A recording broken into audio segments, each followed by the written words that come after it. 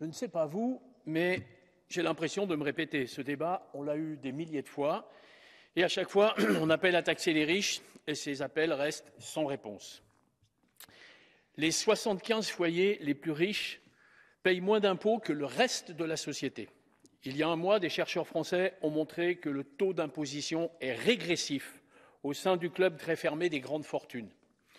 Ce taux passe de 46% pour les 0,1% les plus riches à 26% pour les 75 foyers les plus riches. Les riches ne payent pas leur juste part. Pourquoi? Parce que leur fortune, c'est des dividendes, c'est du patrimoine, c'est du capital, très peu taxé, voire pas taxé.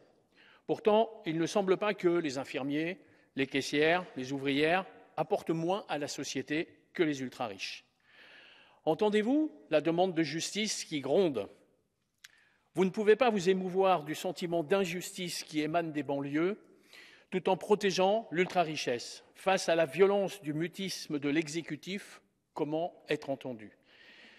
On nous parle de ruissellement, de diminution des impôts pour les grandes entreprises, pour les premiers de cordée. Mais soyons sérieux, la seule solution est une vraie taxation de la richesse. C'est une question de justice sociale et vous ne pourrez pas dire que vous ne saviez pas.